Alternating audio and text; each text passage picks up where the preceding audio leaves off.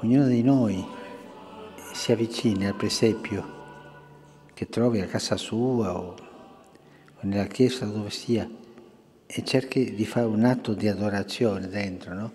Io credo che tu sei Dio, che questo bambino è Dio.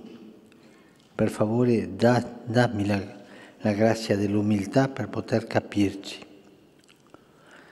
Senza umiltà non troveremo mai Dio, troveremo noi stessi, eh, perché la persona che non ha umiltà non ha orizzonte davanti, ha soltanto uno specchio, si guarda, guarda se stesso, guarda se stesso.